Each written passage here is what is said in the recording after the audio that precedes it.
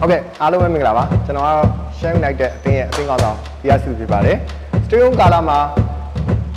MPD နဲ့ပူးပေါင်းကျင်းပတဲ့ MPD Freestyle Football Challenge ပြိုင်ပွဲရှိပါတယ်ဝင်ရောက်ရှင်ပြိုင်တဲ့အယောက်20ပထမဆုံးအယောက်20ကိုလည်းကျွန်တော်တို့ဘောလုံးစုချီးမြှင့်သွားမှာဖြစ်ပါတယ်အဲဒီတော့ပါဝင်ရှင်ပြိုင်ဖို့ကျွန်တော်ဘောလုံးဝါသနာပါတဲ့ညီကိုအားလုံးလည်းဖိတ်ခေါ်ပါတယ် Stay home stay active